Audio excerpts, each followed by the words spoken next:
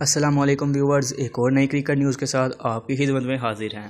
آج کی ویڈیو میں انشاءاللہ آپ سے یہ بات کریں گے، پاکستان کرکٹ ٹیم کے آصف علی نے انضمام الحق کے بارے میں نیا انکشاف کر دیا ہے۔ ویڈیو کی تفصیل پر بڑھنے سے پہلے آپ سے گزارش ہے کہ چینل کو سبسکرائب لازمی کر دیں اور ساتھ کی گھنٹی پر لازمی کلک کریں تاکہ ہماری نئی اپڈیٹ آپ سب سے پہلے دیکھ سکیں۔ چلیے ویڈیو کی طرف بڑھتے ہیں۔ چیز سلیکٹ کے عہدے سے سبق دوش ہونے والے انضمام الحق کے بارے میں قومی کرکٹر آصف علی نیا انکشاف کر دیا ہے۔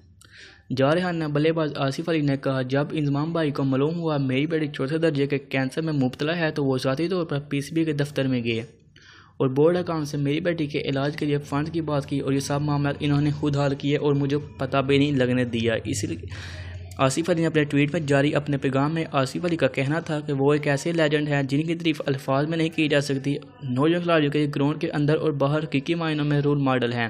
واضح رہے انضمام الحق کے بطور چیف سلیکٹر کی مدت تیس جولائی کو ختم ہو رہی ہے اور انہوں نے گزشتہ روز قذافی اسٹیڈیم میں لاہور میں شیڈول پریس کانفرنس میں اپنے عہدے سے سبق ہونے کا اعلان کیا تھا۔